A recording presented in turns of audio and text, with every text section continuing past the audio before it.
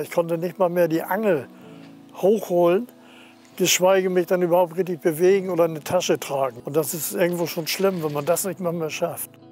Ich habe es weggesteckt, weil ich das einfach nicht glauben wollte. Und ich habe immer gesagt, ich bin gesund.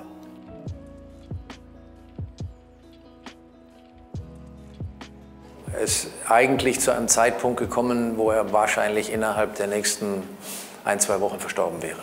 Weil selbst mit maximaler Unterstützung durch Infusionsmedikamente war es nicht mehr im Gleichgewicht zu halten. Das heißt, hier muss man ganz klar sagen, war es eine Lebensrettung.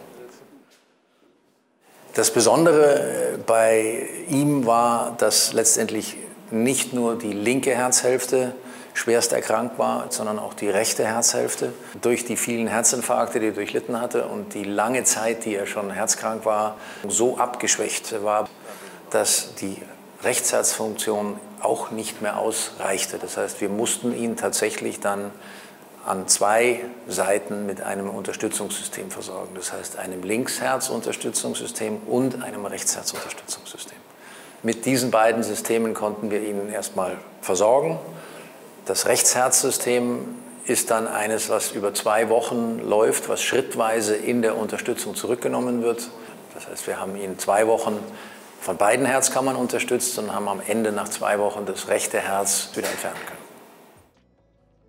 Ich habe in der, in der Reha dann mit einem Rollator die ersten anderthalb Wochen gemacht und jetzt bin ich eigentlich der Meinung, ich bin wieder auf dem Weg, dass ich wieder richtig Kraft kriege und Kraft habe und längere Ausdauer mit der Atmung.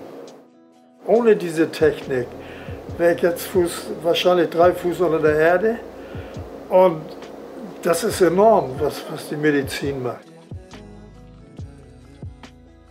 Die Technologie hat sich so weit entwickelt, dass diese Pumpen eben für unsere Patienten ein normales Teilnehmen am Alltag möglich machen und vor allen Dingen ohne, dass es jemandem auffällt. Sie sehen sie nicht, Sie hören sie nicht.